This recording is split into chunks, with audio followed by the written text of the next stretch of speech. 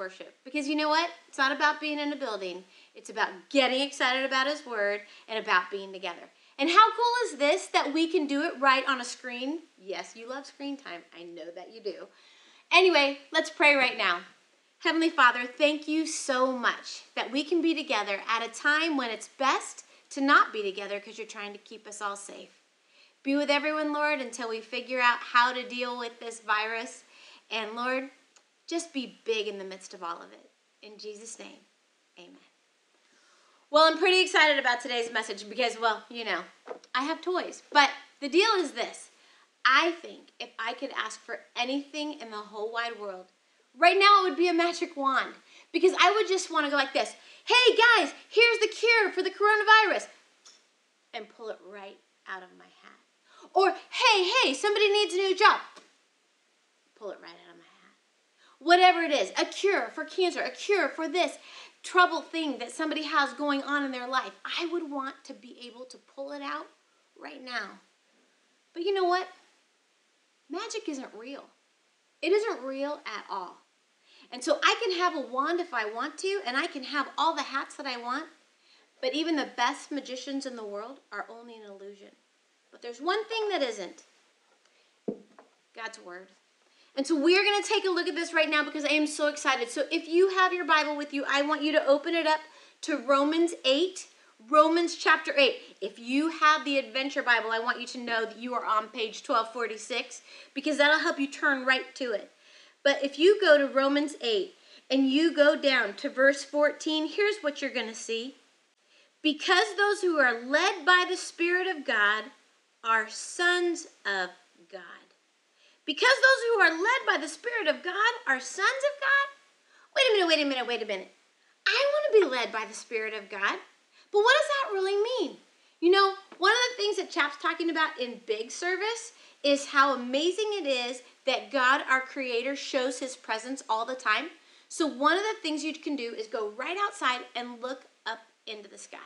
Now, why would that matter? Because the sky is moving constantly and the clouds are shifting constantly, and God created those. That means that there is total movement. That means I am led by the Spirit of God, the God who controls the entire universe. He leads me? Oh my gosh, this is big, but it brings me back to my magic wand. You see, here's the thing this magic wand can't do anything. But God is at the beginning and at the end. He is the one who was here before time. He knew before this coronavirus outbreak, before anything bad ever happened, he knew that it was going to happen. But he also knows what the outcome is going to be. He's at the beginning and the end. He is the coolest. He is right there. Here's where we are, right in the middle of it. We're like, but, but, but, what's going to happen? But but how's this going to be resolved? But but how am I going to make up with my friend that I can't get along with at school? But but how can we fix this? And you know what he says? Don't you remember whatever problem you will ever face, I'm at the end. I'm right there. Here's how we have to start to look at it. The middle part is the best part. The in between, when life gets rough, when there's a challenge, that's the best part. That's when we get to shine and see Him work. I went in the grocery store the other day and I was trying to buy a few things, and the lines were so long, it was crazy. But here's the best part of that people were nice to each other in the lines. People were thinking about who they might be able to reach out to in their neighborhood that couldn't get their own groceries. People were actually talking to each other. Usually, when you're in line at the grocery store, you might talk to your own kids, but you don't talk to the people before you or people behind you. But everyone was talking to everybody. You see, that right there, that's in the in between. Until there's a solution to this or any problem that we have, God says, hmm, watch me shine in the midst of it. And I love that. And so in the in between, God's with us more than ever. And if we are led by His Spirit, we'll be looking for that shine. We won't be walking in this going, oh, I'm looking for a magic wand. We'll be going, in the in between, I remember the each end. And so I'm going to tell you a story that uh, Pastor Chap is telling today, and it is so good. So come over here with me, it's really fun.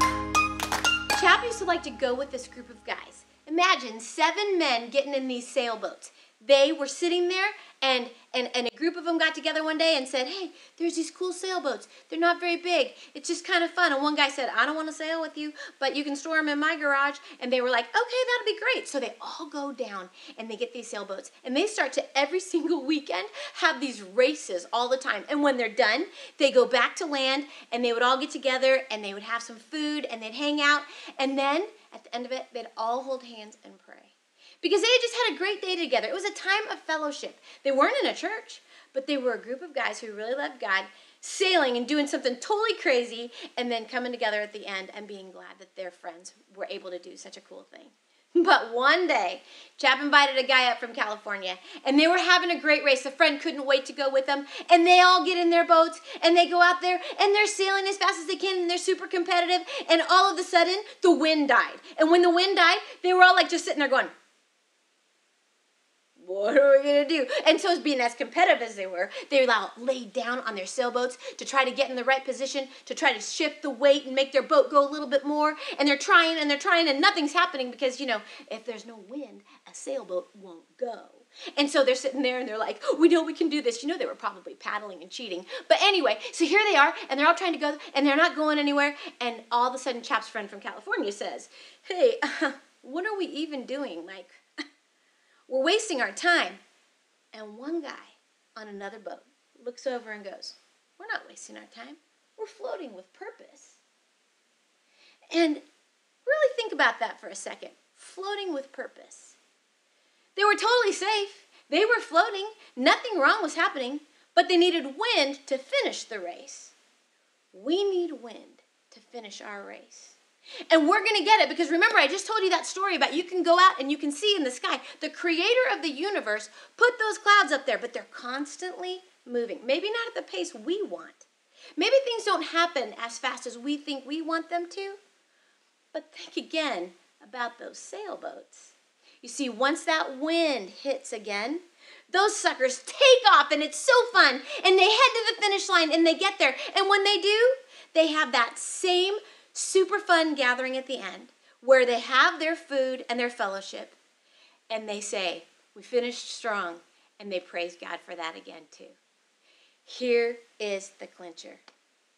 Right now, we got to float with purpose. We are waiting for the wind of change to find out that solutions are coming, whether it be the coronavirus or whether it be how to turn 12 instead of 11. Life has challenges, but God will always be there. He is the wind in our sails, and we're going to have fun doing it. So gather with who you can, whether it be online or just with your family, because we don't need to be in a specific building. At St. Andrews, we're a church family no matter where we are. And where two or more are gathered, He is here. So now we got to go back and finish because I'm kind of missing my wand. You know, I know that you can go to Universal Studios right now and you can get a very cool Harry Potter wand. And I know that you can go to the Great Wolf Lodge and you can get a wand there that makes things happen and opens up treasure boxes. And I even have a wand right here. But this one's the most significant to me because it reminds me He is the beginning, He is the end, and we're going to shine in the in between.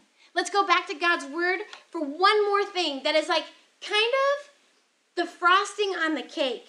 And that is that if we keep going in Romans 8 and we look at the fact that um, if you move down to chapter 8, verse 17, now if we are children, then we are heirs, heirs of God and co heirs with Christ, if indeed we share in his sufferings, in order that we may also share in his glory.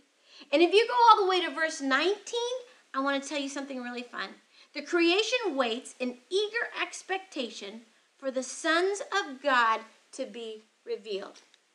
Hmm. I'm looking at those verses and I'm like wrestling with this, and here's what I see. We're talking about the creator of the universe who moved those clouds. We're talking about being his heirs. We get to inherit like amazing blessings, but also go through some tough times knowing that he's at the end of it. And then in the end, we wait with eager expectation, eager expectation to see the good that's going to come of this. So God's bringing something fantastic from all of this. And it says, in eager expectation for the children of God to be revealed. Hey guys, let's reveal God in a way that no one's ever seen. Let's be the hands and feet of Jesus like we never have before. Nobody needs to be afraid right now because we know the end. God is good and He is in control.